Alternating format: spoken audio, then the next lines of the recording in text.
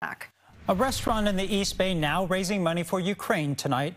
New at 11 as Katie Nielsen reports the owner knows exactly what it's like to have to flee your war-torn homeland. For you, sir. And Thank this you. is our drink menu, wine, beer. Most customers at Americano Italian restaurant in Livermore know the owner, Vesna Karaman. Good, bravo. Do you need more drinks or are you good?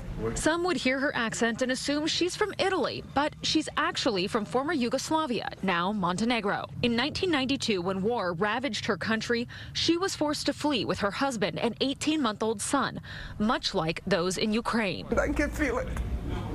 I can feel it. It's not only for Ukraine. It's every single country that goes into war. She and her young family settled in Germany before making their way to the U.S. and eventually to Livermore, where they opened the restaurant five years ago. So when the war started in Ukraine, she knew she had to help. We went through that, and we know how little can be huge. Huge. You have no idea. That's why she decided to put some of the most popular dishes on a special menu, And it's a help for to raise the fundraiser for the Ukraine. with proceeds going to humanitarian aid in Ukraine.